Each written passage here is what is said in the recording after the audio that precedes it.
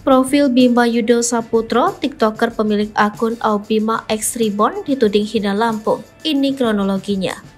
Profil Bima Yudo Saputro, seleb TikTok diduga hina Lampung berujung dilaporkan. Melasir dari Tribun Style, Bima Yudo Saputro merupakan pria 20 tahunan yang tengah menjalankan pendidikannya di negara tetangga Australia. Adapun Bima Yudo Saputro memiliki akun Albimax Reborn aktif di media sosial TikTok dan sering trending mengkritik banyak hal, salah satunya pemerintah Indonesia. Bima Yudo Saputro tengah kuliah di jurusan program Diploma Pemasaran Digital, Komunikasi Digital dan Media atau Multimedia di Perguruan Tinggi Intelijen Bisnis Australia. Sebelumnya Bima telah menyelesaikan Diploma Teknologi Informasi Ilmu Komputer dan Inovasi Digital di Universitas UCSI di Malaysia.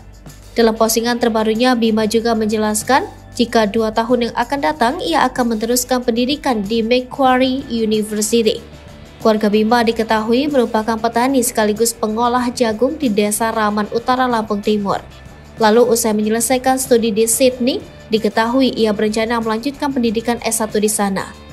Meskipun telah melanglang buana menuntut ilmu di luar negeri, Bima bukanlah seorang penerima beasiswa LPDP. Melalui TikToknya, pria berbehel ini sempat menjalani kerja part-time sebagai pelayan di IKEA. Bahkan dalam video paling baru, Bima memberitahu jika ia masih dalam perlindungan Australia sebab memiliki visa pelajar yang bisa beralih menjadi visa permanen jika ia mau sehingga Bima agaknya tidak menanggapi lebih lanjut perihal laporan terhadap dirinya yang dilayangkan oleh Ginda Ansori.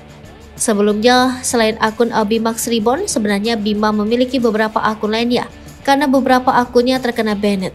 Bima memang begitu aktif menyuarakan pendapatnya tentang kurangnya keadilan di negara Indonesia yang membuat ketimpangan sosial marak di negara ini. Berawal dari video diunggah Bima Yudo Saputro pada sekitar 8 April 2023 yang diawali memperkenalkan Lampung sebagai tempat kelahirannya.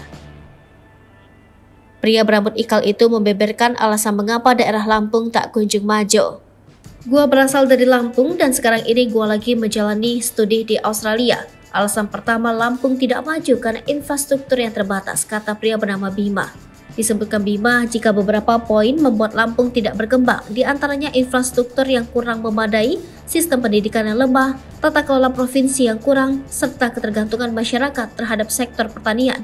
Unggahan akun Max Reborn memang tengah menjadi sorotan dalam tiga hari terakhir. Terus video tersebut, salah satu advokat yang juga pengguna aplikasi TikTok Ginda Ansori melaporkan Bima Yudo Saputro Kinda Ansori mengklaim dirinya yang sudah menjadi aktivis sejak bertahun-tahun lalu tidak setuju dengan kosakata yang Bima gunakan.